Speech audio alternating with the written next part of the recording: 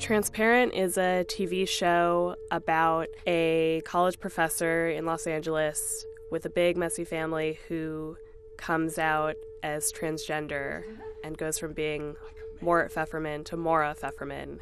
This is me. Actor Jeffrey Tambor is changing the landscape for transgender people in America with his hit Amazon show, Transparent. The show made Amazon the first digital streaming service to win a Golden Globe Award for Best TV Series.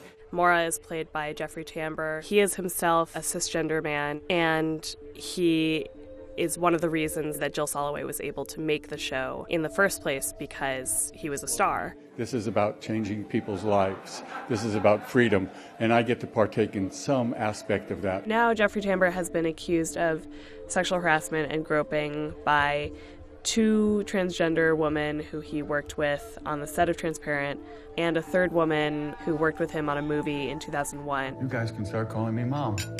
Transparent, unlike a lot of the shows and movies and other institutions that have had to struggle with these sexual harassment allegations, really prided itself on being different and conducting its set differently than the rest of Hollywood. I was very nervous, you know, being a cisgender male, given this wonderful opportunity. We only cast transgender actors for transgender roles, with the exception of Jeffrey Tambor, of course. People have told me who are trans that the show has made the world a little bit different for them. Yeah, well, it has. I, and, and it's the only show on the air that I know about that is doing this. The sexual harassment allegations against Jeffrey Tambor have really crumbled that self image that Transparent had and brought up all kinds of questions about his original casting on the show. I'm Maura. Maura.